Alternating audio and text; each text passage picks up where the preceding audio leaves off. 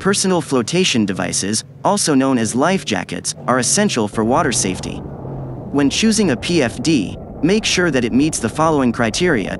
It's suitable for the type of boating location and activity.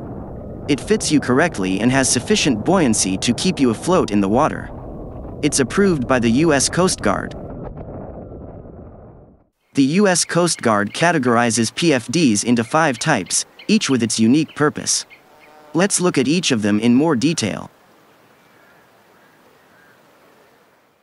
Type 1 PFDs, or offshore life jackets, are the most buoyant and suitable for rough, open waters where you might be waiting for the rescue.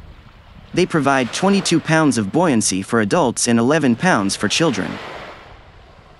The big advantage of Type 1 PFD is, they can turn most unconscious wearers face up in the water. This is the symbol on which you can always indicate this functionality on the life jacket. It is also the only type approved for most commercial activities, like chartering. The disadvantage is that they are bulky and less comfortable to wear.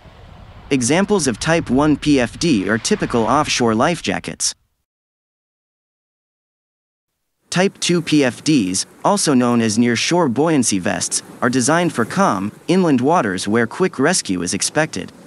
Depending on size, they provide 15.5 pounds of buoyancy for adults and 7 to 11 pounds for children, which means less buoyancy than Type 1. But this is still enough to keep the person afloat. The big advantage of Type 2 PFD is that they are less bulky and more comfortable than Type 1. The disadvantage is that they cannot turn unconscious wearers face up in the water. They are also less effective than Type 1 PFD because of less buoyancy. Type 3 PFDs, also called flotation aids, are the most comfortable and made for calm inland waters with a good chance for a quick rescue. The manually activated inflatable life jackets approved by the Coast Guard are classified as Type 3 PFDs.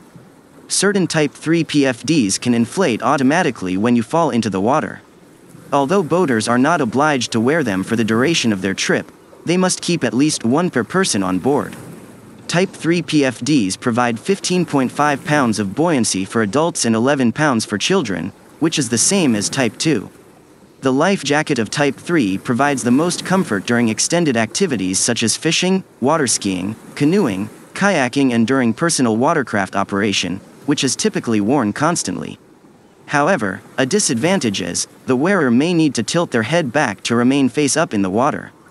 So, this type of PFD will not turn an unconscious wearer face up in the water. Examples of Type 3 PFDs are float coats, fishing vests, and water sports vests. Type 4 PFDs are throwable devices, such as life rings, buoyant cushions, or horseshoe buoys, meant to be thrown at someone in the water.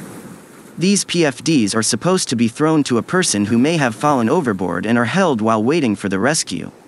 They can provide 16.5 pounds of buoyancy, but they are not intended to be worn.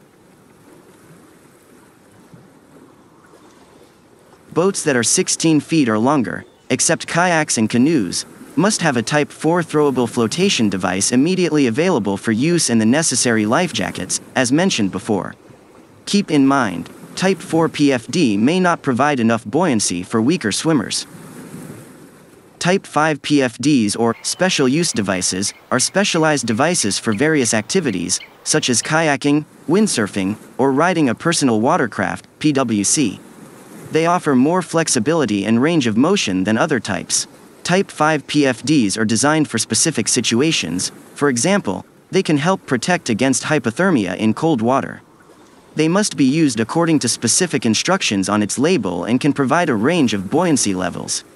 Hybrid inflatable PFDs of Type 5 are less bulky and must be worn at all times. Examples of Type 5 PFD are fishing vests, deck suits, work vests, and board sailing vests. Remember, regardless of which PFD type you use, ensure it fits well and is worn correctly each time you participate in water activities.